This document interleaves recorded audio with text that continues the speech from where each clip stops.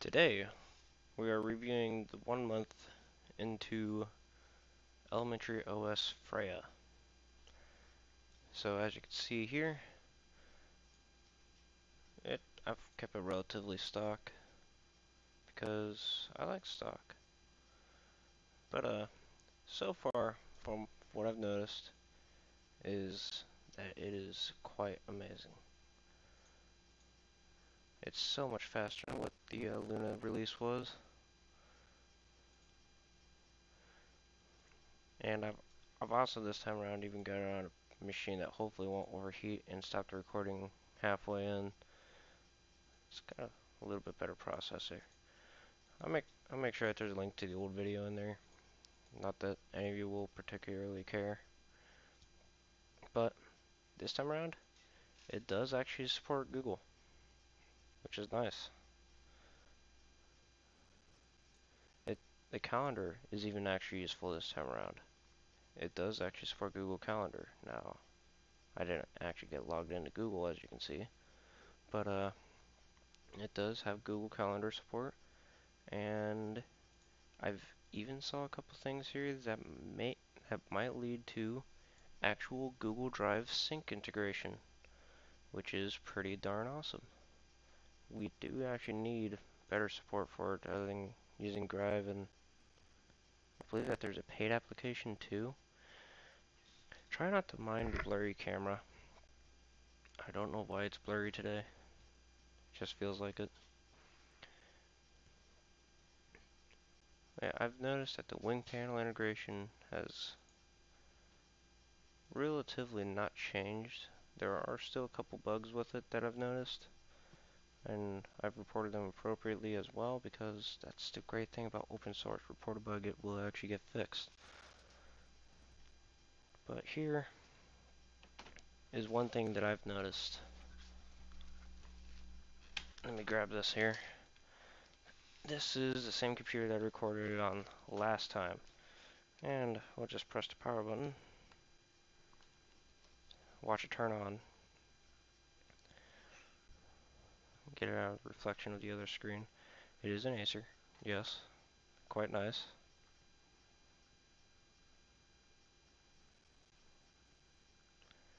It's an older one, so it does take forever to turn on. But as we can see here, this startup screen actually works, which I find amazing. I've never actually had this startup screen actually work on elementary OS on any of my computers, except this release, which is I like. I really do. I'll just put this back over here onto the desk. But we've still got photos. I don't know why it's so big. Get rid of that. Our default email client is still Geary.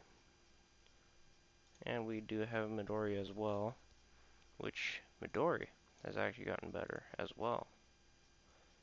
In my own personal opinion, of course. Not that any of you care.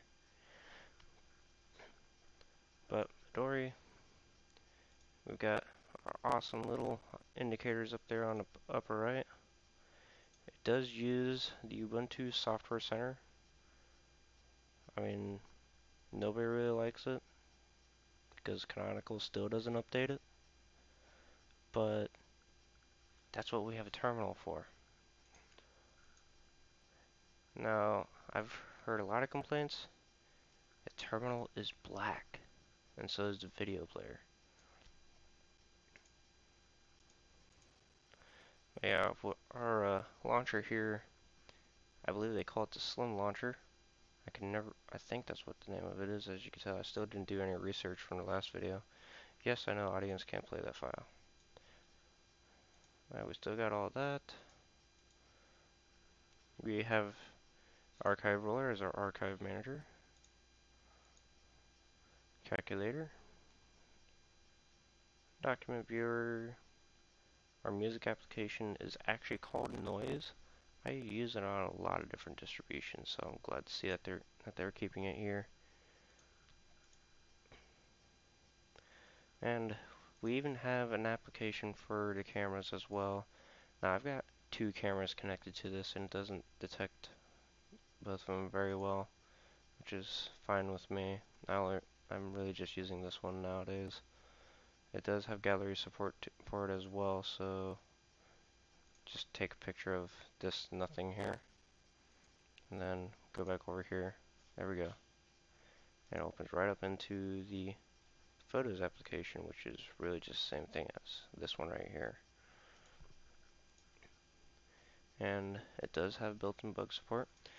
I've I've realized that Scratch is by far one of my favorite text editors. What it does is you create a new file, start typing away. This is a text editor, because we like text editors. Then we're going to,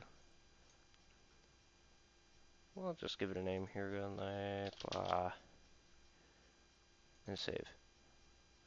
Now what'll happen here is that I'm not going to save this.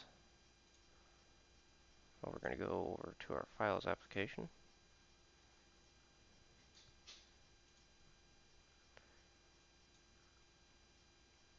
Get that out of the way. Oh, it didn't work this time.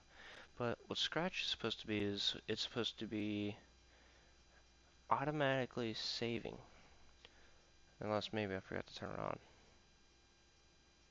Automatic indentation.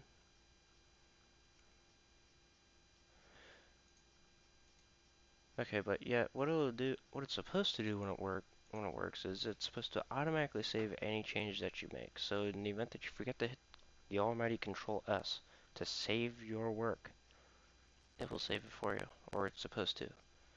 For some reason, it just doesn't want to work for me. Go back up into here. We do have very clean system settings here. Got a couple options. You can even set the defaults here and add applications for startup. So we'll just say that we'll open up our email and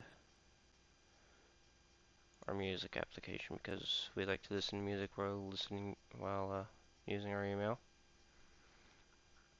And that will automatically open those applications on startup, which you guys probably knew about. I'll turn that off. Got our keywords stuff, nice little shortcuts to everything, which I actually quite like. It's a lot cleaner than XFCE, in my personal opinion in that. Bluetooth, this computer doesn't actually have a Bluetooth adapter, so that doesn't work for me, obviously.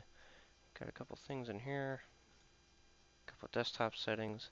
As always, they have pro probably the most beautiful backgrounds.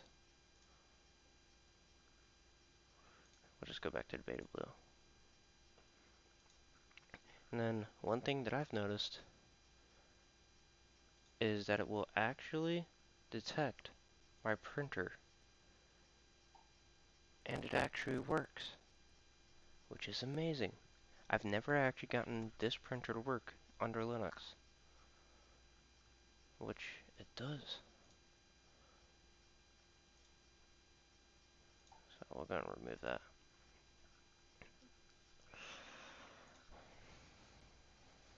My personal opinions of Freya, it's going to be great. It still needs work though, which is not an issue. Let's see. We'll just go check for updates. Close out of that. Now, I've noticed, I don't know if they fixed it yet, but their update manager likes to call it Ubuntu.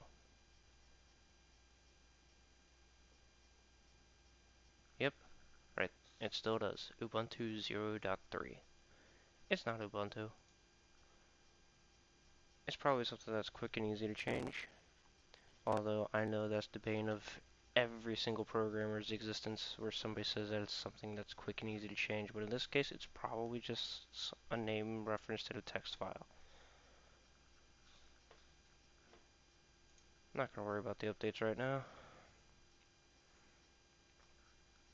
Uh, I've only installed two things. Unlike unlike my last video where you probably saw that I already had a couple things installed. I just got Guvcview so you can see my lovely face that's still blurry. Yes, I am losing hair. I'm well aware. And then I've got simple screen recorder. Why? Just to record the video. But our desktop switcher here is, uh, is also pretty darn cool. I can grab a window, move it over here, and then just move it over there as well. Which a lot of people seem to really like that visual effect. I'll just put that back over there. Go back to this empty workspace. Out of the box, it's actually very usable, in my opinion. And uh, the installation for it just uses the same Ubuntu ins install thingy. Yeah, thingy.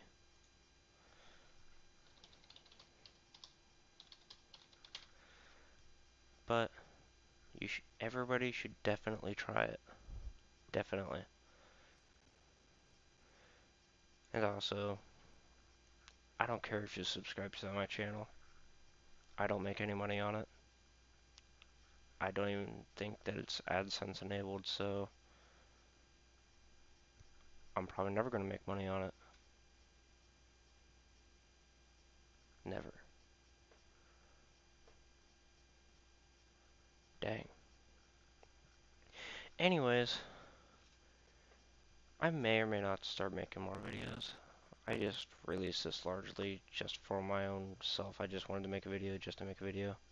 But anyway, if you guys feel like it, go ahead and subscribe. I never released a video in the first place. And then that's really it. Just a short video this time around. Not quite like my 10 minute video. I probably went more definite, but I haven't watched it since I put it up on YouTube. So maybe I should go rewatch that at some point. And maybe release another more detailed video than this one. But there's already a lot of other people that cover a lot more things about an elementary OS than what I just did. It's act from a beginner standpoint, I actually have my grandma using this. Which is, if, it passes the grandma test, it's got to work, right?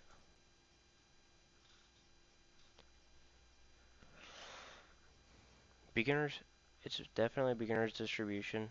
It does have, it's just like any other Linux distribution as well, so you can go more in depth if you want to. But other than that, that's really about it. And yes, the screen did just turn off because laptop overheated. Yeah, I need to get a new one.